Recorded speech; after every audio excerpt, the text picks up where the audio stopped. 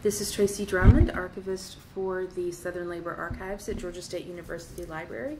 I'm here with Diane Fleming. We are in Las Vegas for the Machinists uh, Retirees Convention. It is November 21st, 2013, and we are going to talk to Diane today about um, her history with the IAM. Welcome, Diane. Welcome. Thank you. And thanks for agreeing to sit with uh, me for an interview today. We'll jump right in. My pleasure. Where and when were you born? I was uh, born in Chicago, Illinois, Mm-hmm. August 13, 1942. And, um, yeah. Okay. Well, and tell me a little bit about your childhood growing up My there in Chicago. childhood, well, my father passed away when I was three years of age, so we in turn moved to Middlesboro, Kentucky, which is in the southeastern part of the state of Kentucky, where Tennessee, Virginia, and Kentucky border, uh, with my um, mother's uh, parents, my grandparents. That's where um, my childhood and teenage uh, until I went off to school. Okay. So. Are you an only child? No, I have um, another sister that she was six months old, so my father never got to um, to see her. And then my mother remarried after uh, a number of years, so I have um, two, um, three other siblings. From One is deceased. Okay. Um, and so, do you remember anything about Chicago before you got to Kentucky? Very little. Um, actually, my grandparents lived in Evanston, Mm-hmm. which is a suburb of Chicago.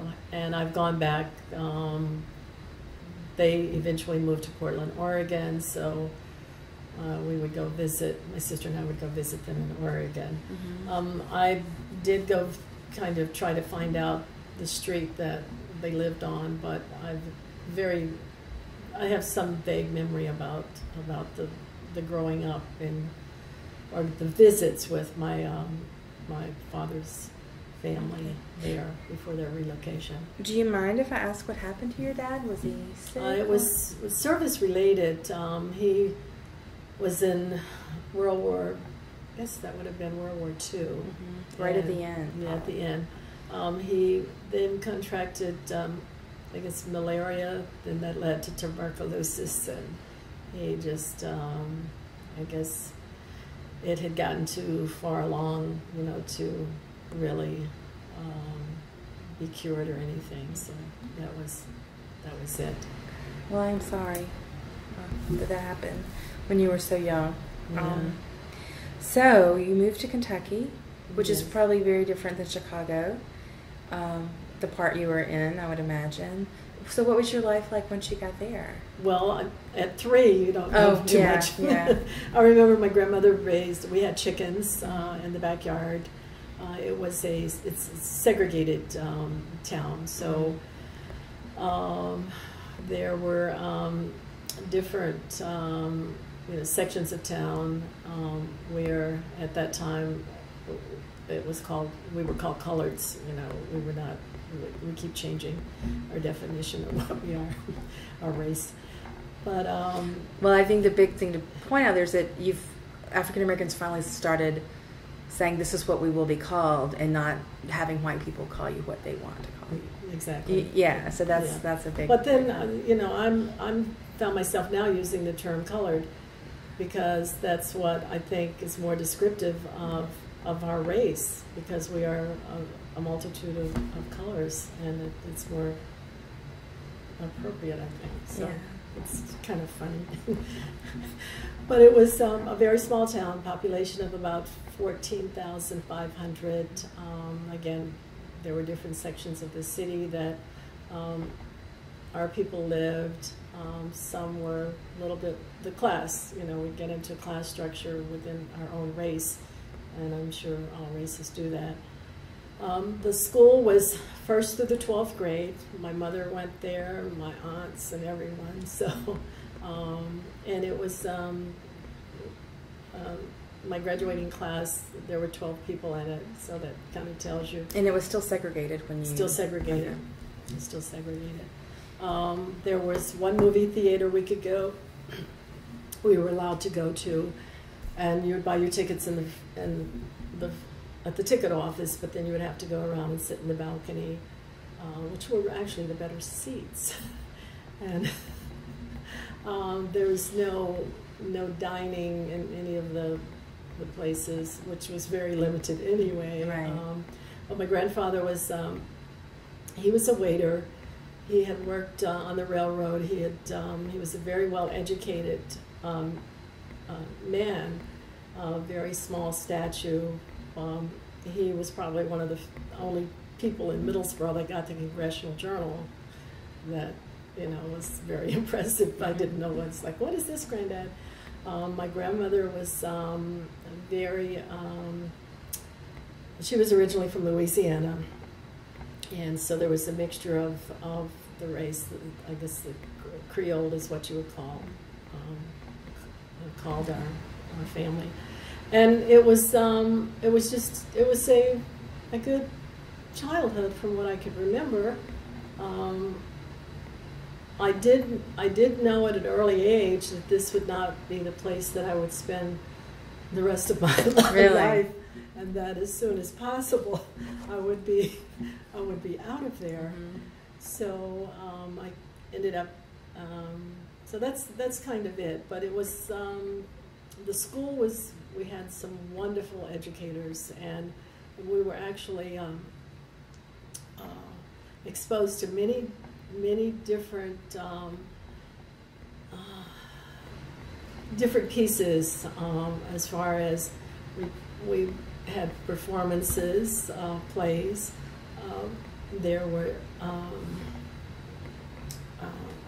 there was a limit with actually books or any type of materials like that, but you know it was things were implemented in so many ways. It was a well-rounded education for um, for us, and I'm always amazed at some of the people from that town.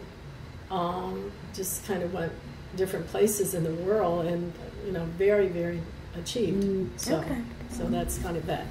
And growing up there, I have to ask: Were there ever any incidences? Because you said it was a segregated town. Was it the kind of thing where there was just this mutual understanding that the white folks would stay in one part of Mhm. town, the black folks would stay in one part of town, or were there? Because I'm from the deep south. I grew up in Georgia, Mhm. and I know there. Um, there were issues in some places. Um, racist attacks, things Yeah. in lynchings and things like Yeah. that, and and we so never, so it I never just- experienced that. I never understood because, um, again, like I said, there were some that were had a little bit. Everybody was kind of poor, you know. Some were had a little bit more than others, and then we um, had people that lived next to us that were that had a lot less than we had that were of of white race. So it was very. Um, it was it was easy. My mom worked for um, one of the department stores there. She was um, in the stock, uh, you know, stock clerk, I guess is what they called it at the time. And uh, now I guess you would call it merchandising merchandising assistant. Yeah.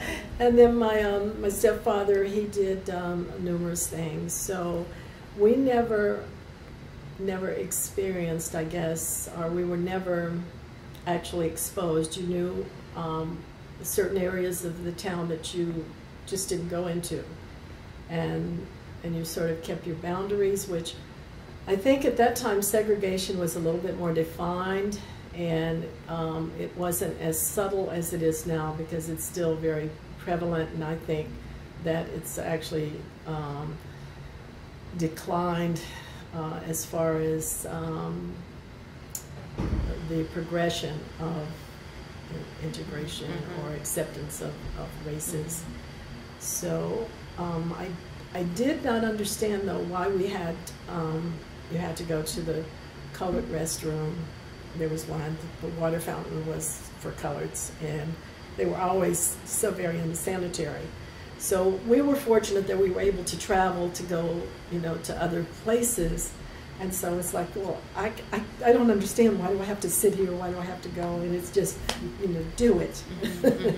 so it was never, you know, totally explained to you about it. It was just that you knew these boundaries and you stayed within them. Okay. Yeah.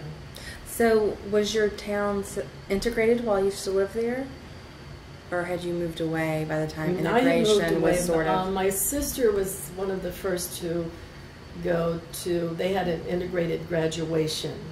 It was quote unquote so that the state could give school money, you know, to the, the white high school. But then after that, you know, there there was integration. Okay. Yeah. Um, so, what was expected of a young woman growing up in Kentucky, in a smaller town? What was what what what hopes did your parents have for you? Um, well, my parents had had been um, educated. They had gone to college, Mhm. and many of the people that we knew had had gone on. Um, very few. There's still some. Very few people um, stayed there. You know, you would go off to school, and then you some would come back. Um, like the ones I grew up with. I think there's like one, one or two people that are still there in the in the town. Um, and I, what was expected is that you would um, further your education and that you would be able to take care of yourself and your family, and and, and that's kind of it as far as um, and that's what I knew that the plans for me would be. Okay. um, Um, did you work while you were still in high school? well, I did babysit for some white families. There was a uh, pediatrician, um, and um, my grandmother used to do ironing, you know, taking clothes. And so I um, would sometimes help her. And a couple times I went to a family and did, I'm not sure what I was doing, but um, I guess it was maybe babysitting, that was about it. But there was Okay. no, there was really no other type of employment there. Okay. And so, when you graduated, I went off to um, Knoxville, Tennessee, which is about 65 miles. That's the, the largest township or city near Middlesboro. mm-hmm. and went to college there. Um, I did participate in the sit-ins at Okay. um, at the um, was Rich's. I don't know if Rich's department store. we had no, we had we had we had those we had right. those sit-ins in Atlanta the sit-ins, yeah, Mhm. at the counters there. I remember the marching, and I remember telling my mother after the fact, and she was a bit upset. And I guess it's because of the fear, but I didn't. I didn't have that fear. It was like you know this is not right, and I, I was pretty always pretty vocal as to why I don't understand and and. Um, it, this is this is just not right. Mhm. So that's sort of when you got your first activist Exactly. leanings, exactly. perhaps. well, um, what was your major?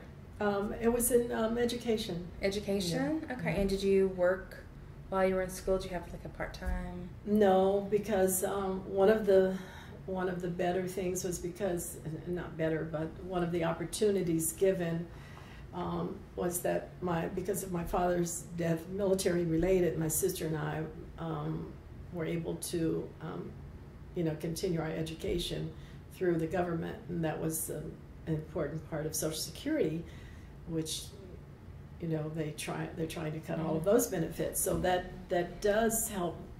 Social Security is not just for older people. It- Right. It, it, helps many many families in other ways. So, and so that's something you were aware of even as a young woman that Mhm. Social Security Yeah. was helping you. Okay. yeah. And and then having these sit-ins and sort of Mhm. being away from home and growing into a young woman and getting your activist leanings. Mhm. Can you talk about maybe uh, how, why it was important to you to become involved? Uh, for for fairness, just the, the right thing to do to treat people um, as you would want to be treated, give people the opportunity, um, and that um, it's it's just part of, of the way we should live.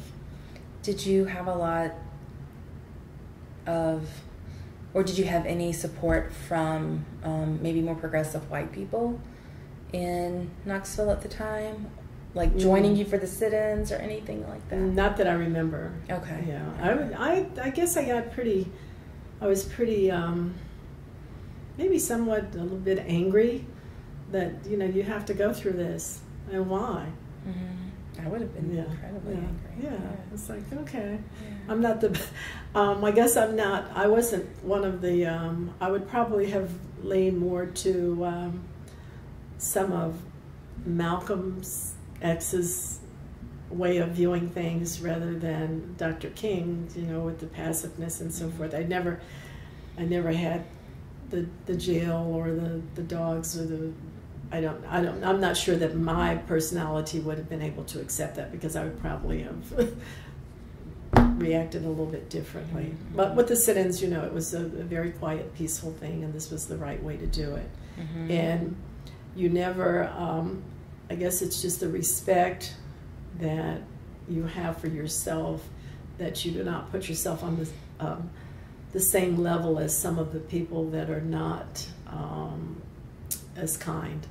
Did y'all have people show up to um, sort of actively confront you about what you were know, doing? there was there were you know the lines that that you would have to just walk through and, and not pay any attention to Mhm. And you were given instructions as to, to, to how to do things Okay. So it was very organized. Mhm, It wasn't very showing up. No, It was no it was planned. Okay. Um, so you get through college, and Right. did you start looking for a job or? no then i ended up um, i did not graduate from there i ended up coming to washington d.c Mhm. um, my aunt and uncle were living there. And then my um, my plan was to then to continue the education in Washington. Um, I planned to go to Howard. However, um, I I think it was the winter I had gotten one of my first jobs was with um, the Hecht Company, which is uh, no longer it's now Macy's department store and gift wrap, Mhm. and then um, I. Um, I guess became employed and school was kind of put on the back burner.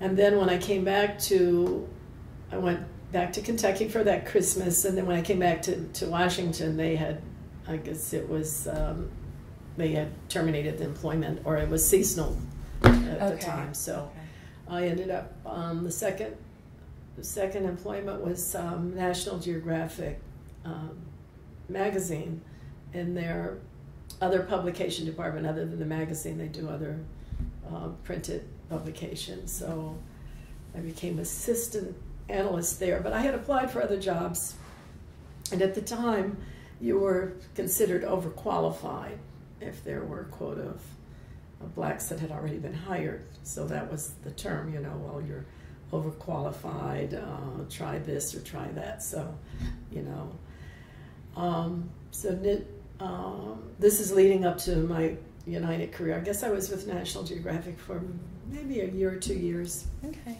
and I was. My aunt said, "Oh, we hear that United Airlines is hiring." So, um, you had to first be pre-interviewed by the Urban League, and then sent out to yeah, yeah. This they wanted to make sure that the applicants were um, qualified and that there would be no reason why you should not be able to hire people. Okay. So. So- Oh, okay. So they didn't want a company run by white people to have an excuse to say no. They wanted to. Right. to like pre-interview and make sure. that Okay. we were sending a person out that you Okay. know why why can't Okay. you hire this person? Mhm. So I I did that. I went to um, And I'm sorry. Tell me again about what year would that have been? um, well with United it was 1963 is when I was hired. okay. You were hired April of 1963. Okay. So these other jobs were um, two or three years before that. Okay. Um, I graduated at 16. I was kind of early, early years. Okay. Yeah. Oh Yeah. wow. Yeah. Okay.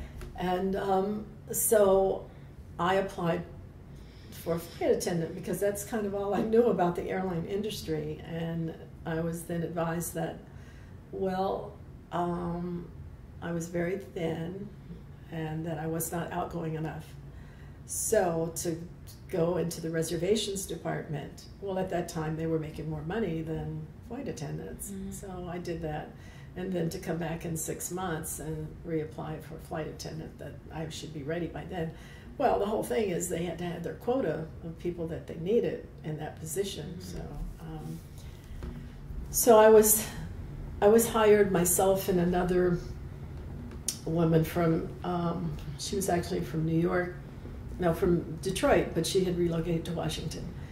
Is this too long? No, no. I'm I, I'm I'm just always checking to make sure okay. it's recording correctly yeah. and that it's still moving. So um, we were two of the first persons initially hired directly from the street, as you would say it, um, for United, mm-hmm. and uh, it was we were very well received, um, except that they would get us confused with the names. And um, I was Carter at the time, and she was Jenkins, and um, and you know we looked nothing alike.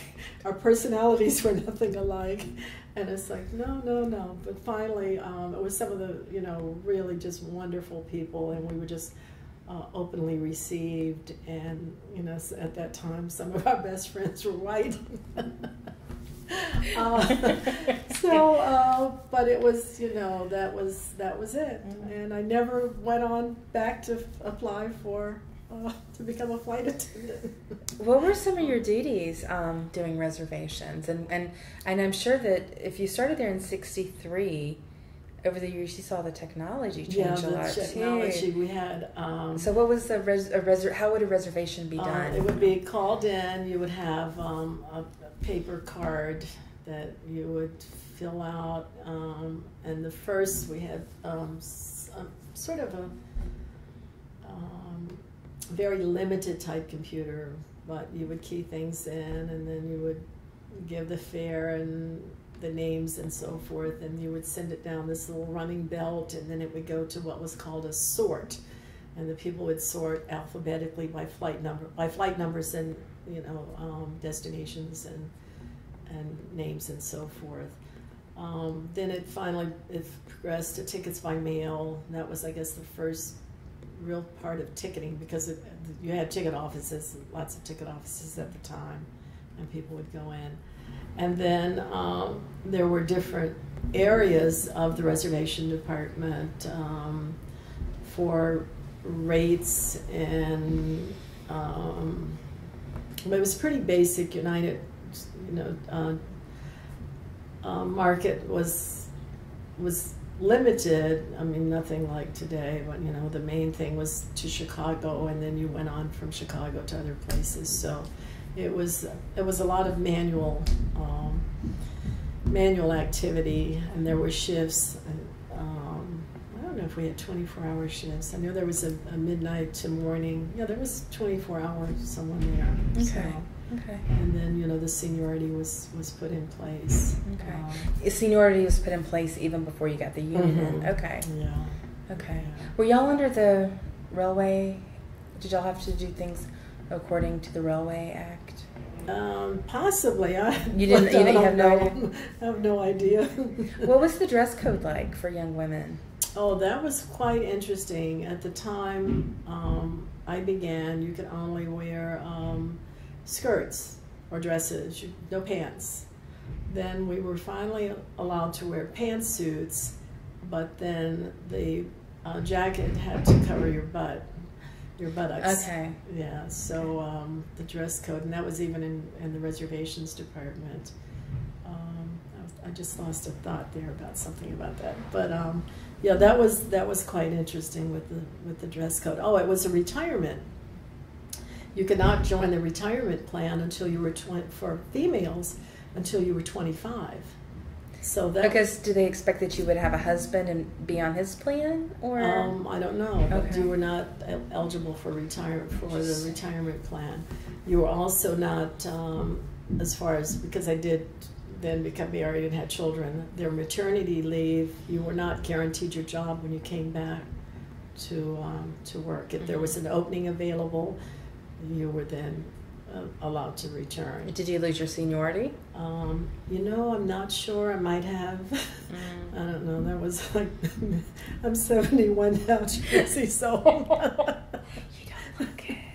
um, You don't look so that was that was like many years. But then I think the um, insurance insurance did not cover um, that.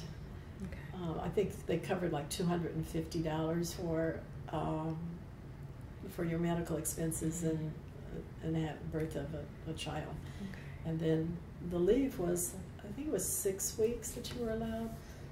And again, that was based on the available if you if there was a job opening at the time. So, did, but you were able to go back. Mm-hmm. Okay. Yeah. All right. And, so, you- those all those over the years, those benefits have improved, and then of course with the union, that did bring about many changes.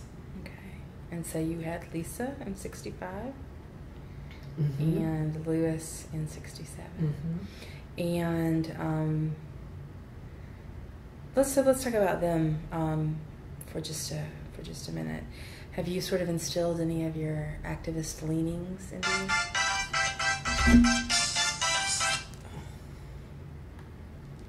Sorry. It, no, no, that's fine. Uh-huh. It happens. Uh, I'm gonna need to call you back.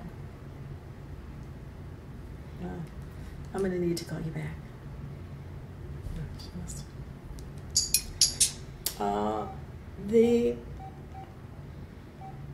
probably, I would say yes. Mhm. Yes. Um, my son is a little more um, very vocal and um, than my daughter in in his views um, and his activism.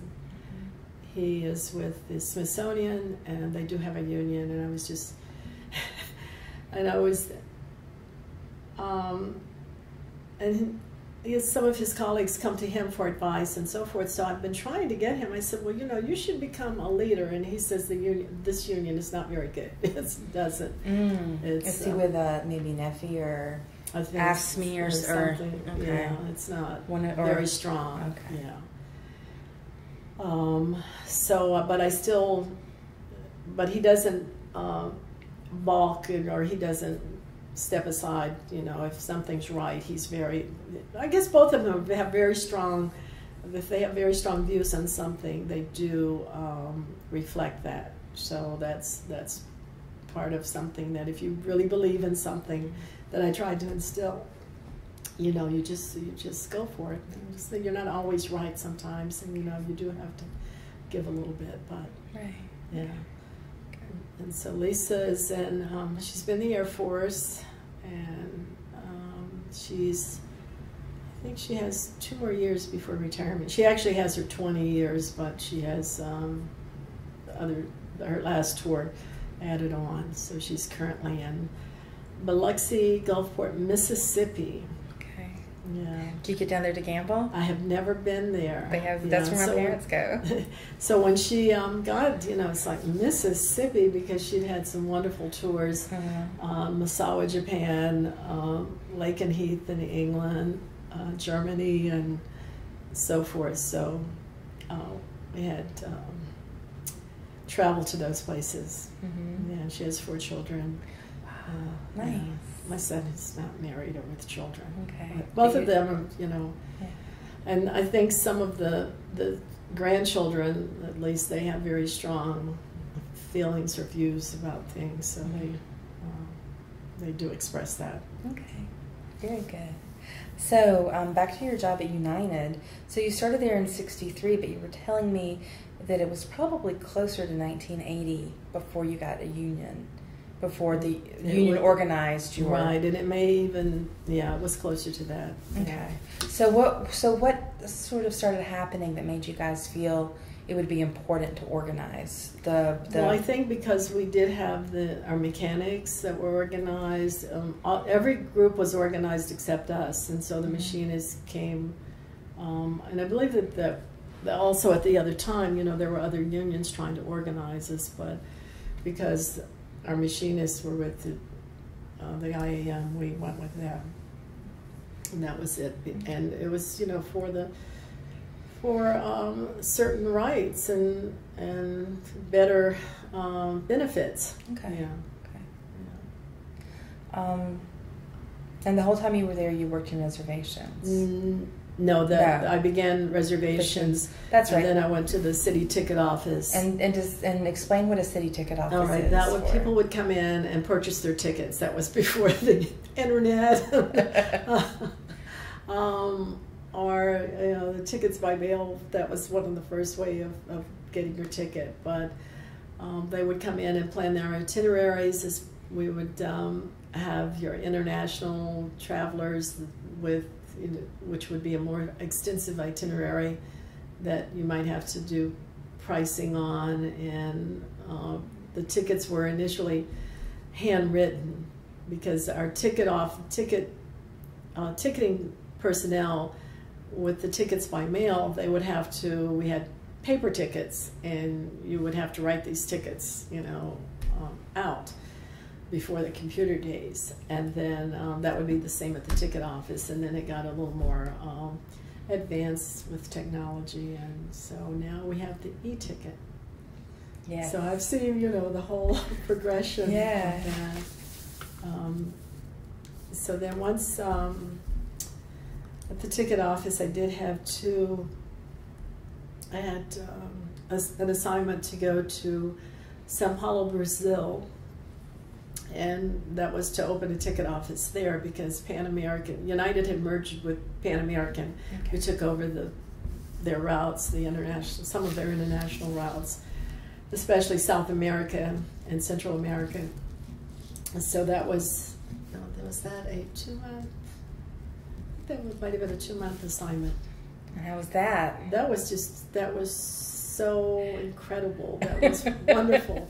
Speak no Spanish, no Portuguese, Yeah. only English, which is you know not the greatest of the, but it was just a wonderful working crew because then you know the the persons that we were training were bilingual, so they helped a lot. And, Mhm. You know, we um, it was just a good experience. Mhm. Uh, I do have some memorabilia from Pan Am when we took over their their office.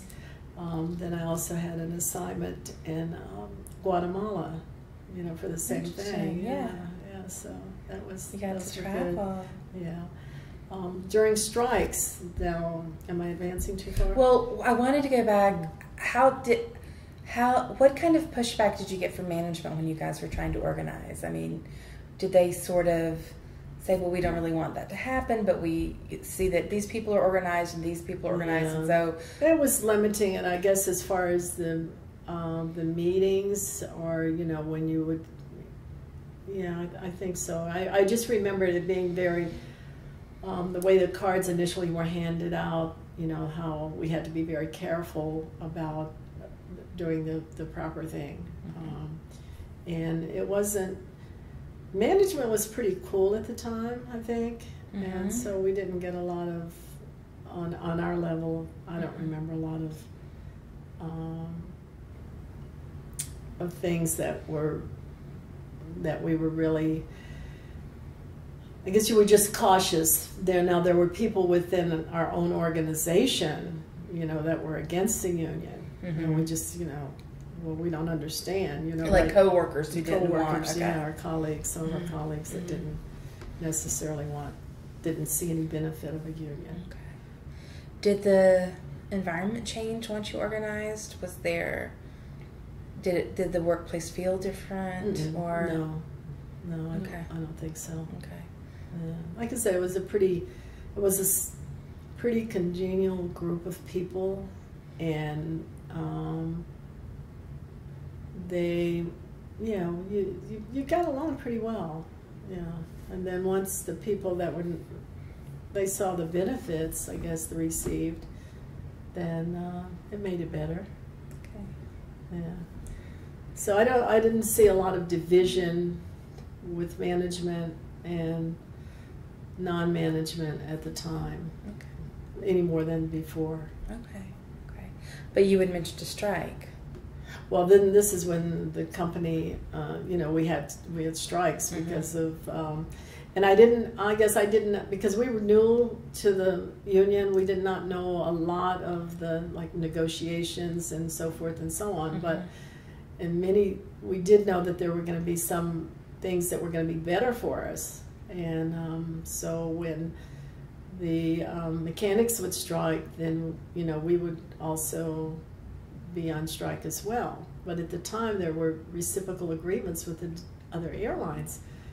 For um, example, American Air, they would hire they would hire the reservations people to um, come to their workplaces because they were so that inundated because United was so large. Mm-hmm. And um, I remember one time I went up to Hartford, Connecticut, um, and worked for American, and then you were paid. You were given your salary. You were given a pre diem and accommodations. So Wow. okay, this is sweet. uh, the children were little, but they were with their father, so that was good. Okay. But then um, other another time was it was it American again? I think um, I stayed local or either Delta, you know. So it would depend on which airlines. Some of the people went to work for Piedmont at the time. Uh, you may not even know about. That. I might. I don't remember No. Piedmont. yeah, it was a Southern carrier. Okay. But um, that that um, those things happened too. So Okay. the, the whole industry was a lot lot different than today. Okay. All right. So, so you're saying that a lot of the strikes came about more because you guys weren't really equipped to negotiate. Well, Or- we were we were out because say the machinists would go out. So, so it was a sympathy strike. Yeah. Okay. So, Yeah. so We- you so never we were- struck for your own group. No, we okay. were part of the machinists, and then you know one on strike. We were all on strike. Okay. Yeah. Okay. yeah. Um, do you have any stories about that, or did any of those last a long time, or? Yeah, they one did last a few, quite a couple months. Okay. Yeah. Did y'all have a good strike fund to sort of help folks out? Um, well, I I- wasn't. Again, I had gone to work for another airline, so I was still okay financially. Okay. Yeah. So we, um, our, I guess we didn't have the impact that maybe some of the other other folks had. you Okay. know. So after that strike was over, Mhm. would you leave that job? Was it just temporary and go back to? Oh yeah. yeah okay, so yeah. you always came back to United Mm, Yeah. or Yeah. This was just like on, whatever. say like a loan. They would loan X number of people, whoever wanted to go to, to say American to help help with them. Um, That's interesting. Yeah. Because you think you think that the um well, that was before the competition was just that yeah that uh, cutthroat. I guess is the word. Yeah. because it's because it's it's it's kind of you can tell sort of hard for me to wrap my head around the idea that we're striking against you, but you're going to send us somewhere where we can make some money while we're on strike. Yeah. Like that. Well, your group is on strike. Yeah. Yeah, so we're striking against the company. So it Mhm. wasn't, you know, the other airlines are going to make, you know, we Yeah. it was all about, I guess, two people, you know, trying to accommodate the people for travel. Mhm. When I think about it, Who were those two people? Mm. That was the people, you know, Oh. passengers. Okay. Yeah, that's right. But I mean, you said two people trying to accommodate. Oh no, it was I meant for trying to accommodate people, not to Oh, the, okay. the the airline Trying to tried accommodate. Okay, the other I see. passengers. That's what I was trying to yeah, get that. Yeah, yeah. So it's it's really kind of interesting how that that whole thing happened. Mhm. Um, so did you learn more about the union as the years? What what year did you actually? May I ask? What year did you actually Get the union? retire? Uh, I think I've been retired for about ten or twelve years now. Okay, so Mm. maybe around 2000, 2001. Yeah. Right. Okay. Okay. Um,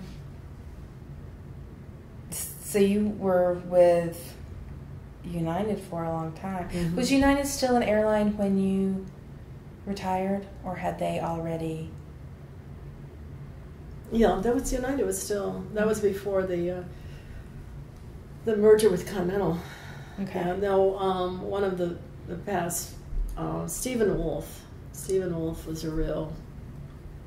Oh, I should not talk about people, but he would just come in and just just pretty much rate your carriers. He had some other airlines before United that he became um, CEO, and he tried to um, do a merger with US Air at the time, Mm-hmm. and I mean the millions that were spent on trying to do the merger, and then management. It was all about him and management and selling the airlines off. Um, United survived,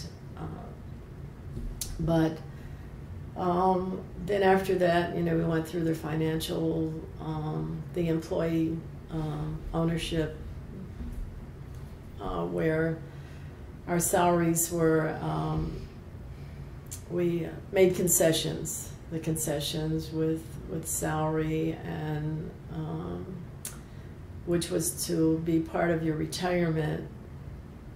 But the only time you could get that, the stock that was put in stock, was that, you know, if you left the company, if you, so it was it was very similar to the the Enron thing. You know, you Mhm. you could get your stock, but you could only get it if you left. You know, you couldn't say take pieces of it out at a time.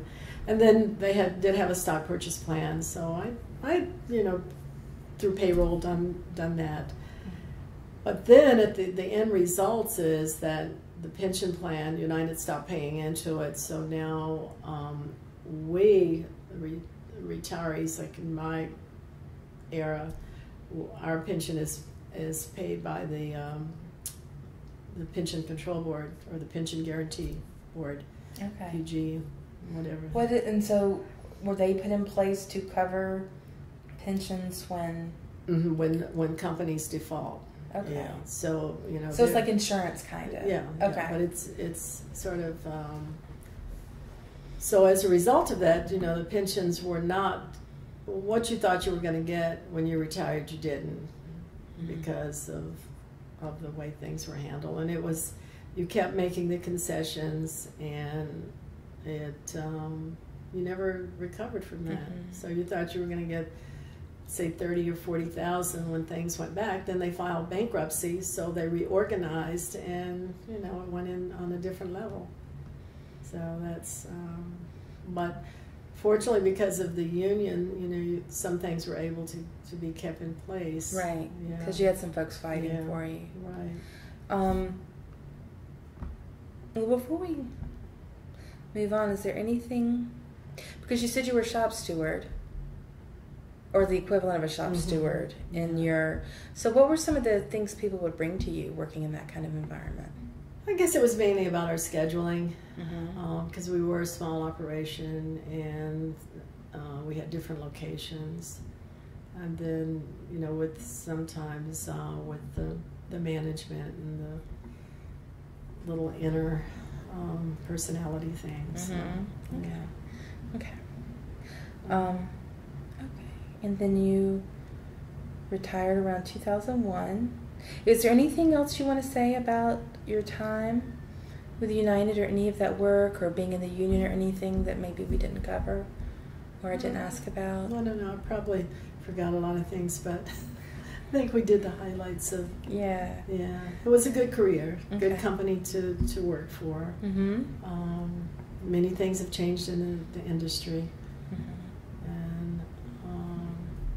Really sympathize with the with the people now that work for an airline. That you know, your the pay is low. The benefits, you know, our benefits were cut considerably Mm-hmm. um, with the merger. So we, you know, you used to be able to get unlimited uh, travel benefits as an employee, um, even retired, and your seniority was counted for. Now it's like we're at the bottom of the list. Really? So that was flights, like you could get so many flights a year for free? Is that what you Mhm, As many as you wanted, yeah. Really? as the employee. And then we also for um, we, they had companion tickets Mm-hmm. that you could get 24 that would be um, per segment. Uh, so if you did a round trip, that would be two of those Okay. every year, and that you could just you know give them to to whomever. Now all that's changed. Mhm. Yeah. So. Um, I I don't think I, I would recommend um, a union because if there had not been a union in place at the time, we would have really been just like out the door, you know, with, Yeah. with very with nothing. And even even now, I think that it's it's so important that uh, we keep our unions in place and that we try to that we must um, increase our our membership. We should go out out for different other um, areas of the the workforce. Mhm. You know that maybe had not been traditional. Have you ever been to the Winpisinger Center to Mhm. take I've classes? taken classes. And they've got all the great um, displays there of different things people make. Yeah, So yeah. I always, I was surprised. I, I don't have a union background, um, but that machinists make everything from rifles to yeah.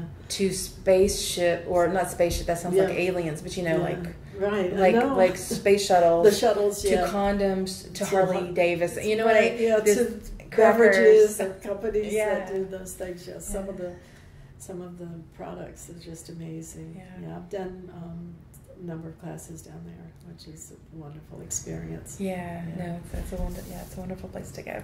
So you retired around two thousand one, and but you that was been about twelve years now, Mhm. and but you're still very active with the union as a retiree. As a retiree, and so, was it important for you to continue to be active, or ju- just based on your early um, years of activism when you were when you were a young woman, or is it something that you you know did you say this is something I'm going to do, or did you retire and then see a void that needed to be filled? and no, no, I didn't have any voids. I didn't have any voids, uh, as you could probably see with my other activities and yeah, organizations. yeah. Okay. I'm quite involved with um, my community, my church, and um, and then this was um, just important that that we as retirees organize, you know, because we still have to make a difference, Mhm. and because the majority of our population is um, aging, uh, we have the majority here, and, it's about a voice that we have to leave legacies for our our youth. Mhm. Um, so, I get under Maria Cordoni, Mhm. she started the Young Machinist Program, Mhm. and I believe you're participating in that here. Um, I was not on one of You those not- panels. you were no, not one of we, those panels? Um, but have you, have you done that before? Myself and Susan Taylor, Mhm. um, we kind of Maria took us under her wings, Mhm.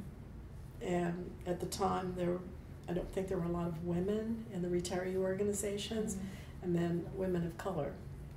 So we were kind of like, okay, we're going to do this, and we want, I want you all to get involved. And we just like, it's just so good. Mhm. It's um, enjoyable, the people that you meet, and then you know, you, it's, it's for a cause. Yeah. Yeah. So, and you say she took you under her wing, um, or her wings, Mhm. to and sort of mentor the exposure, you, the, yeah, the mentor, the exposure, and, and exactly guidance, guidance, And, okay. the you know the classes and, and so forth. Okay. Um, it was a wonderful opportunity to go to the um, the nomination in Denver for uh, President Obama. And Nomination for the second term or the first? The first? the, the first very term? first one. Yeah. Yeah. And we had um, Did you get to meet him? no, but we were right there in the front. You know where that Mhm. blue carpet was. Yeah. Yeah, we had seats there. They told us well, we've got some special seats that folks had arranged. Right. and that was just one of the most incredible experiences of a lifetime. Mhm. Um, four years ago, we were in Ohio, did the campaigning there, and then this last, I mean, eight years. So the last two Yeah. campaigns, Yeah. we were we went to Ohio. And Okay. driving around, meeting people, knocking on doors, and. Yeah. Uh, And that's sort of, let me say, just typically when there, when it's not a big election year, mhm. what are some of the typical activities you do as a member of the IAM retirees? Well, I've gotten um, with the alliance. We're members of the alliance, and so the Alliance I for Retired Mhm. Americans. Okay. Yeah, I forgot to put that down there. and I have been called upon to um, go and do testimony on the Hill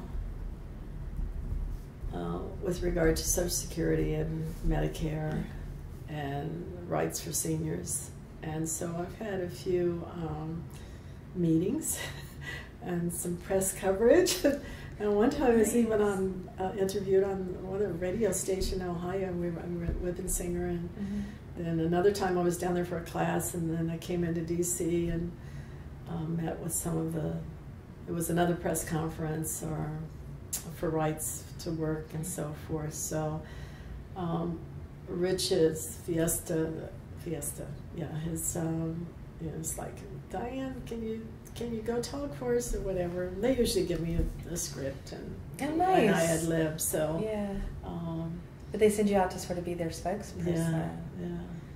That's And nice. so, you know, part of it is my story about my father and Social Security benefits, how they help families, and what Yeah. uh, it's not just for older people, and then my mother, and just, you know, your own personal stories and how the benefits have helped and and how they're needed, and there's no need for cuts or any of those things. So, so that part has, you know, we've become quite involved in, Okay. and And you're in the DC area, so Mhm. you're close to the Yeah, I'm right in- I'm and right in the city. headquarters yeah. or the Grand Lodge, rather. Right, yeah. Okay. All right. Yeah. And um, but then specifically, you were saying last year, 2012, um, Ohio was a swing state, Mhm. and they weren't sure if they were going, if it was gonna, you know, the the votes were gonna go to Romney or Obama. And uh, talk a little bit about how y'all decided to go in and work in that area. Well, we were we were called. It was a group of us that had worked the the previous election, and um, they needed people in Ohio, and we started out in Akron on this last time, and then yeah, it was Akron. Then we ended up that they needed more people in Toledo, so we went to Toledo and we were there for four weeks, five weeks, and came. We, I drove, um, and I just had thyroid surgery for Mhm. cancer, and so I was like, oh, I'm, yeah, well, I'm going to do this. And I was like, yes, I can do this. Yeah. and I, um, um, yeah, so it was it was the group that had worked together before, and then some additional people, and we were with the um, the A, uh, AFL. I think it was we used we were out of their hall, and you were given an assignment every day. And I don't know if you know Sam. Did you meet Sam? I have met Sam. I didn't Yeah, interview him, but I did meet him. yeah.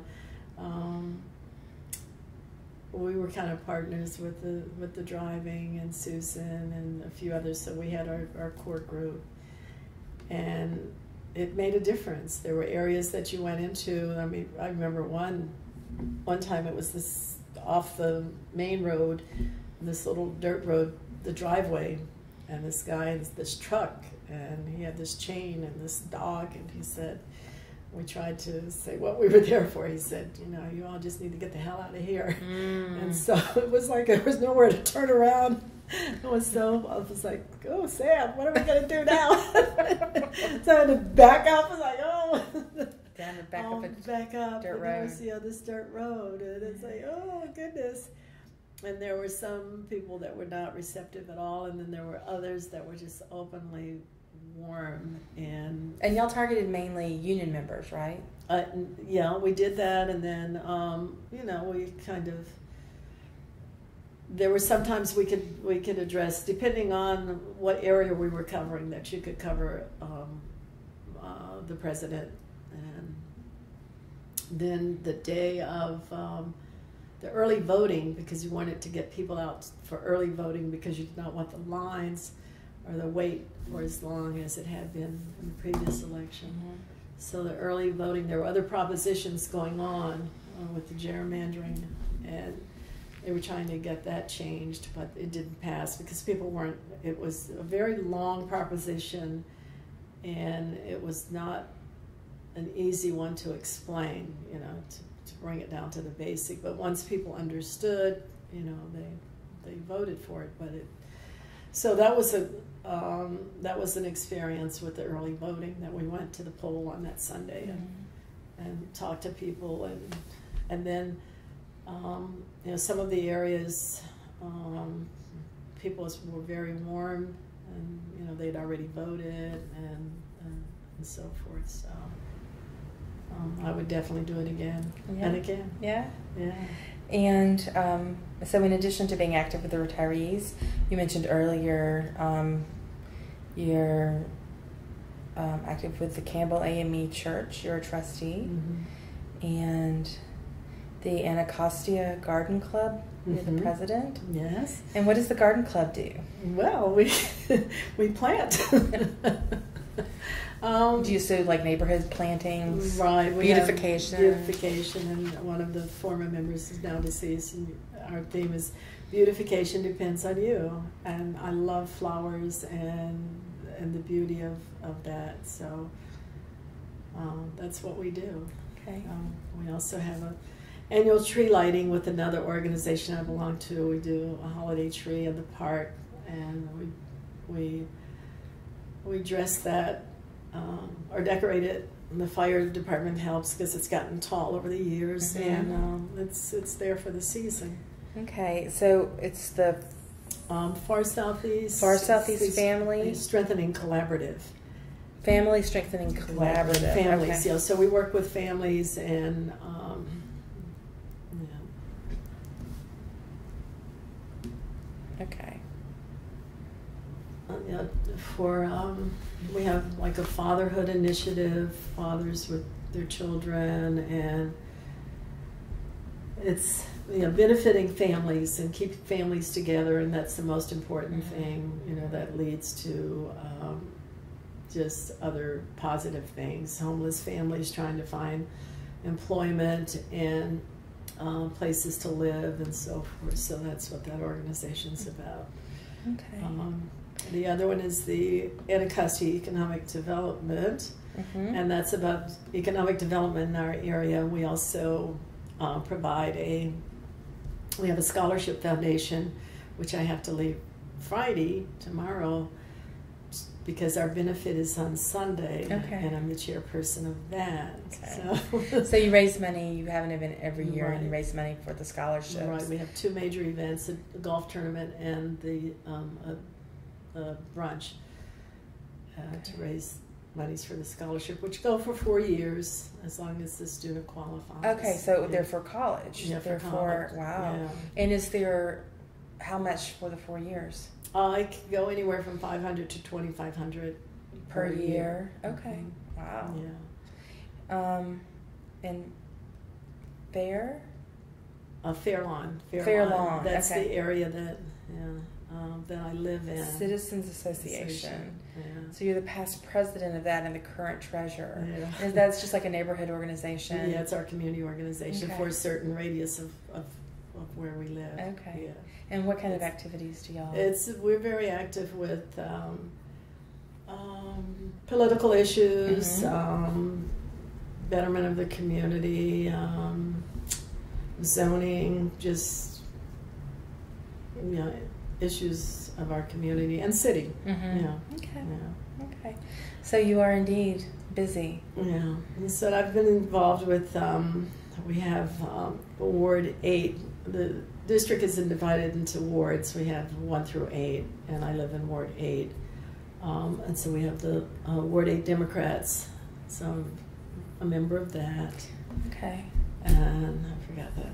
I guess um, then I was a pass. Let's see our state committee, which would be all of the wards, and it's sort of a body of well, the district does not have voting rights, Right. So um, this state committee is a group of activists uh, that represent all the different wards and part of the city. So I was actually in Brazil at the time when I was elected to that office. I wasn't even there. and That is an elected office. You have to run for that. But I'm pretty, um, stay pretty connected politically as well. Not as much as I used to. But, yeah, some things you just have to let go for a minute.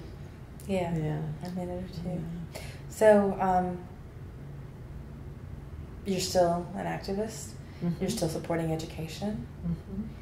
And this has sort of been a, your life. Yeah. This is sort of you found a way to do these things Yeah. throughout your life. Um, what is one of the most important things for you about um, being in the union, or not one? What are the most important things for you about being in the union? the solidarity that that is and just the the beliefs um, and that and helping people all people yeah as having seen the world segregated and, and the world or not the world but Yeah. you know what I mean um, our country with with the different um, with the segregation and the integration and you sometimes wonder what is best. But the union, you know, it, it takes in all people. And then it's just about helping people. I mean, some of the stories here, you think that you have difficulties in life. I mean, I've been talking to some of the, uh, our, our attendees, and they are just, it's just incredible. It is so incredible that the, the things that they have gone through, and they're still, they're still active, and they Mhm. still have they believe strong beliefs the right the right thing to do Mm-hmm. Yeah. Well, have we not covered anything, or is there anything else you want to say, or any particular people you want to mention that you?